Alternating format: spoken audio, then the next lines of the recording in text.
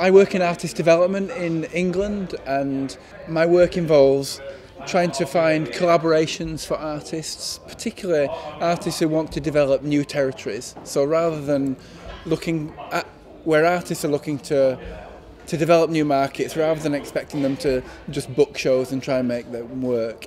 I try and find collaborations where they can tour with somebody else from the domestic market. So rather than playing to nobody, they've got a guaranteed audience of 50 to 100.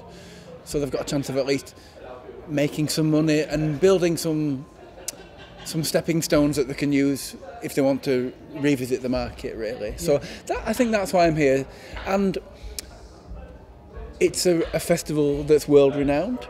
So it's obviously great to come out and see a festival this good working at the top of its game and Rosa have brought in delegates from across the world so it's always a privilege to be amongst your peers and to talk and to be able to just exchange ideas in a stress-free environment because we don't get many opportunities to do that. So, so when the invitation comes to an event like this and they, we get invited to festivals and events all over the world, you're looking at the quality of the delegate list, the quality of the artists who are playing, and it's just because it's ultimately travelling abroad is four or five days out of your working life, so it has to it has to not necessarily work financially, but sometimes you're playing a longer game where you're sowing the seeds with artists or with other professionals in our world for work that might take two, three, four years.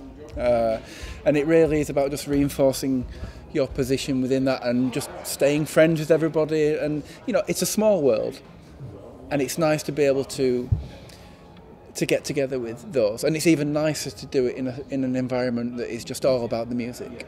I've been fortunate enough to, over the years, come out to a couple of events in Denmark. I came to the two Womexes that were here, and I went I went to Folkelarm in Oslo a few years ago. So while the music is not unfamiliar to me, it's not all of it is directly translatable to UK audiences. So you're trying to find the acts that that you think could work domestically, that you think you might be able to present and and develop a market for. There were three trios of girls who were all doing all vocalists and various instrumentation. That is something that feels quite familiar and has a direct correlation relationship to the UK. There are bands doing very similar things in slightly different approaches.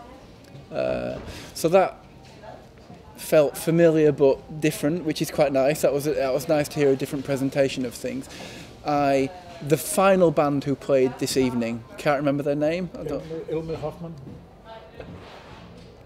Uh, th- for me, that was a band that I felt was the right mixture of ability, presentation, melody. I just thought I thought that would have landed really well with not just UK audiences, but that felt like it was internationally sellable and would have sat well with any audience anywhere in the world.